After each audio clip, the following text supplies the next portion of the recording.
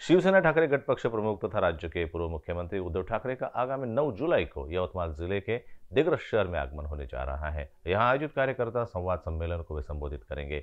उद्धव ठाकरे के इस दौरे के तहत दिग्रस में शुक्रवार को पूर्व राज्य मंत्री संजय देशमुख ने आयोजित पत्र परिषद में उद्धव ठाकरे के आगमन सहित विभिन्न विषयों पर पत्रकारों से बातचीत की है। पेश है दिग्रस संवाददाता जुबैर खान की खास रिपोर्ट। दिग्रस वाशिम विधानसभा निर्वाचन क्षेत्र में सक्रिय ठाकरे गुट शिवसेना के पदाधिकारी और कार्यकर्ता इन दिनों काफ़ी व्यस्त है, क्योंकि आगामी 9 जुलाई को पूर्व मुख्यमंत्री उद्धव ठाकरे नागपुर से यवतमाल मार्ग होते हुए वाशिम ज़िले में स्थित प्रसिद्ध पोहरागढ़ पहुँचने वाले हैं, जिसके बाद वे दिग्रज शहर पहुंचकर यहाँ आयोजित कार्यकर्ता संवाद सम्मेलन को संबोधित करेंगे। उनके इस दौरे को लेकर वाशिम ज़िले के साथ ही यवतमाल ज़िले के दारवा, दिग्रस, नेर, आर्नी शहर और ग्रामीण इलाकों के शिव सैनिकों कार्यकर्ता और पदाधिकारियों में उत्साह का वातावरण नज़र आ रहा है। इसी कड़ी में दिग्रज शहर के विश्राम गृह में शुक्रवार को वर्तमान शिव सैनिक तथा पूर्व क्रीडा राज्य मंत्री संजय देशमुख ने पत्र परिषद का आयोजन कर इस संदर्भ में पत्रकारों को जानकारी दी है। नऊ तारखेला आमचे पक्षप्रमुख उद्धव बाळासाहेब ठाकरे यांचा दौरा दिग्रस शहरामध्ये लागलेला आहे. तो कार्यक्रम मानोरा रोडवर महेश कृषी उत्पन्न बाज़ार समितीमध्ये ठेवलेला आहे. माझं या दिग्रसमधील सर्व तमाम उद्धव साहेबांना मानणाऱ्या सर्व मंडळींना विनंती आहे की त्या कार्यक्रमामध्ये आपण सर्वांनी त्या ठिकाणी उपस्थित राहावं.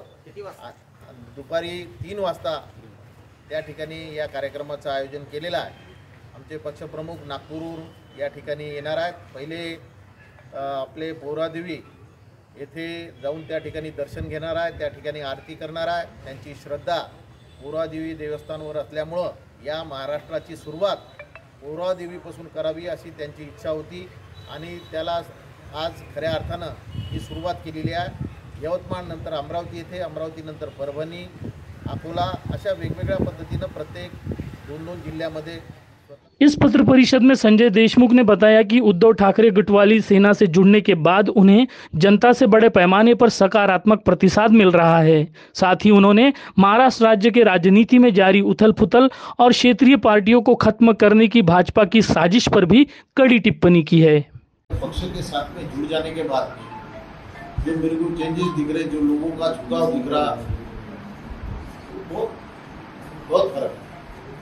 निश्चित तौर से पक्ष में जाने के बाद में और जिस पद्धत से लोगों से मैं अप्रोच करने के बाद में उनकी तरफ़ से जो सहानुभूति मिल रही, बहुत अच्छी है।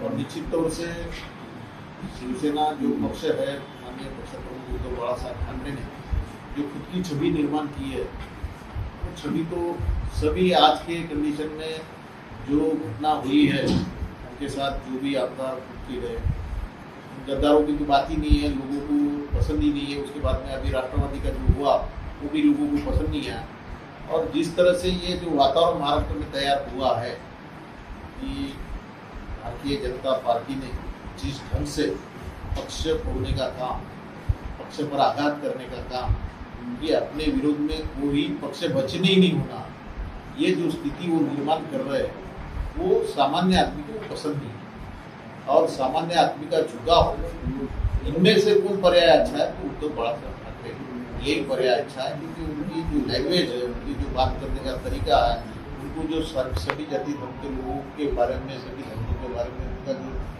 झुकाव है।